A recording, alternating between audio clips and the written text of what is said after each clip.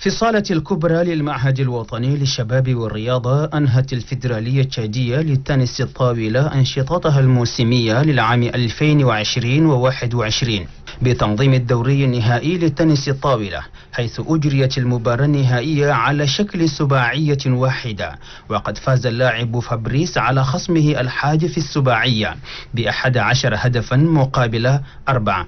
ومن ناحية البنات فقد أظهرت اللاعبة شاريتي تقدمها بالتحكم على الضربات لتخسر نظيرتها أديلين المباراة بأحد عشر هدفا لثلاثة عشر هدفا. تسعى الفيدرالية التشادية للتنس الطاولة من خلال هذه المنافسات إلى اكتشاف مواهب الشباب الناشئين لتكوين فريق رابطة أنجمينا للتنس الطاولة بالتنسيق مع اللاعبين في ولايات البلاد حتى يتم تكوين منتخب وطني للتنس الطاولة. هذا ما أفاد به الأمين العام للفيدرالية التشادية للتنس الطاولة توكومباي بوريس.